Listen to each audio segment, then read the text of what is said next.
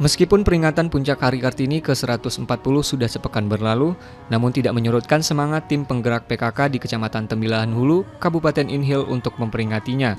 Tidak dalam bentuk acara seremonial, namun dalam kemasan berbagai perlombaan yang antusias diikuti puluhan ibu-ibu dari desa dan kelurahan setempat.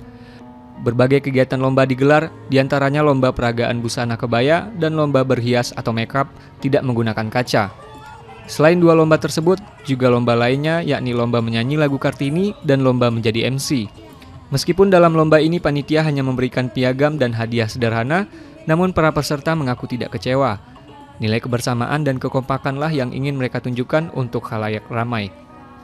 Sementara Ketua Tim Penggerak PKK Kecamatan Tembilahan Hulu, Asnawati mengatakan, perlombaan yang digelar ini untuk memberikan semangat dan motivasi bagi kaum perempuan – mereka didorong untuk percaya diri, terampil, dan kreatif.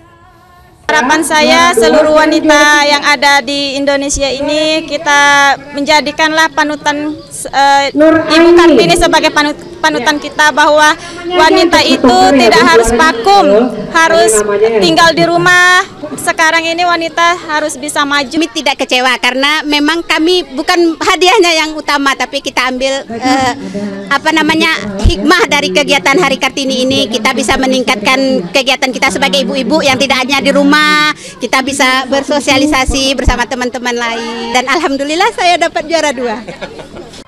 Dalam kegiatan lomba memeriahkan Hari Kartini ke-140 di Kecamatan Tembilahan Hulu ini, panitia mengambil tema dengan semangat Kartini kita tingkatkan kualitas perempuan dengan pemberdayaan ekonomi kreatif.